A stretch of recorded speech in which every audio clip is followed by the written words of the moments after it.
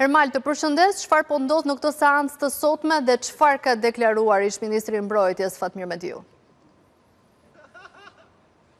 Elisa, seanca ka nisur prej orës nëntë në Gjykatën e Posaçme, ku ndryshe nga herët e tjera, prezent ditën e sotme, ka qenë dhe ish-ministri i Mbrojtjes së kohës Fatmir Mediu, i cili është marrë i pandehur nga Prokuroria e Posaçme me dy akuza, atë të shpërdorimit të detyrës dhe shpërdorim detyre të kryer në bashkëpunim. Në nisje të seancës ka qenë Mediu në fakt që i është drejtuar gjykatës në fillim me disa po themi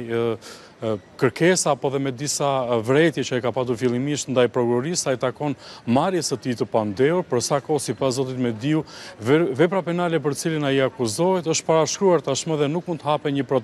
një proces tjetër i ri siçkundër është hapur nga Gjykata e Posaçme. Gjithashtu ai ka patur vërejtje edhe në drejtim të Gjykatës së Posaçme, ku disa kërkesa të drejtuar prej avokatëve të tij mbrojtës për thirrjen e disa dëshmitarëve, Gjykata e Posaçme nuk ia ka pranuar, por ia ka rrëzuar. Në nisje të fjalës së tij ai ka kërkuar ndjesë familjeve apo dhe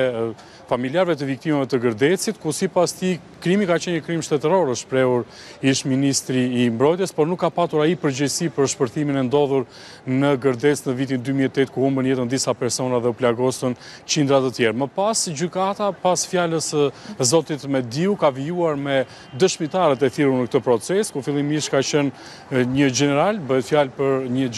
një ish gjeneral në fakt i kohës, i cili ka deklaruar në gjykatë se ai ishte punësuar prej pak kohësh, prej të paktën dy javësh, ishte i punësuar në fabrikën e demontimit të armëve në Gërdec, ku sipas tij gjithçka ka ndodhur për shkak të një gabimi njerëzor, është shprehur ish gjenerali, ku sipas tij në fakt në një shpërthimin ai e ka parë prej 15 apo 20 metra larg, ku ka ndodhur në një karocë, karocë e cila shërbente për transportin e barutit nga ambientet e fabrikës ku bëhej dhe demontimi drejt një vendi tjetër. Por kjo ka ndodhur për shkak të një, po themi, një gabimi njerëzor për sa kohë sipas tij karoca e cila kryente edhe transportin, ka qenë momente teksa ishte duke u salduar dhe është futur herët në ambientet e brendshme të fabrikës së demontimit të armëve, që ka sjellë më pas edhe shpërthimin që ndodhi në fabrikën e Gërdecit. Më pas, dëshmitar i dytë është Bardhyl Hoxha, një ish-shef i logjistikës apo ish-drejtor i logjistikës në Ministrinë e Mbrojtjes, që ka mbajtur këtë post nga viti dy mijë e katër deri në vitin dy mijë e shtatë. Këtij të fundit, në fakt,